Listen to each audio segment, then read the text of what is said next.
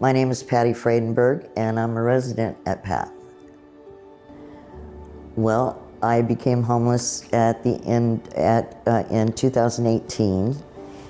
I had lived with my sister-in-law in her home for like 14 years, and she became ill, and one thing led to another. My brother passed away.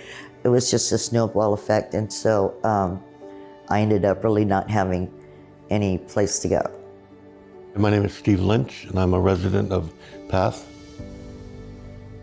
I was homeless for approximately five years. So I was in the high tech industry, made really good money. I was very successful. And I fell into a depression, and I just basically let go of everything. It was just too much to handle. And uh, um, wow.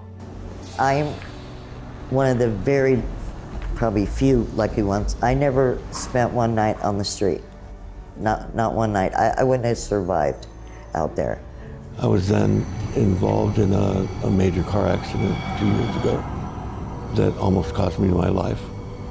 Um, and from there, I was given, given a, a, a caseworker with the county, Santa Clara, um, to help figure out a place for me to go. And that's how I ended up in the shelter. Um, and so after being in the shelter for uh, roughly one year, um, I, my name came up, and Path called me and said they had a place for me to go. Path seems to me to be hands-on a little more. Um, just for instance, I get a weekly visit from my my case manager here, um, and he can come in and sit down, which is a lot more comfortable than standing at a doorway, talking about so how are things going. So that alone, I think, makes, I know myself and a number of other people that I know here uh, feel a little more inclusive.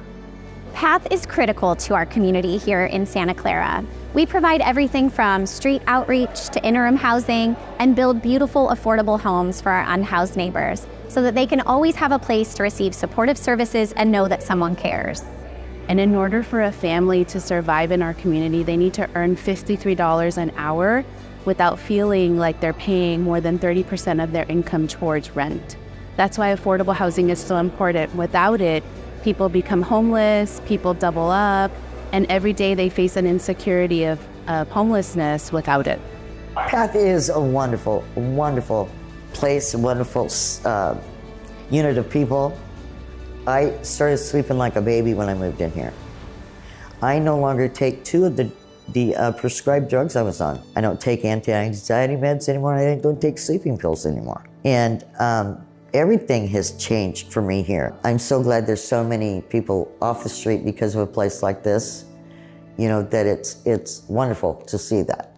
It, it really is.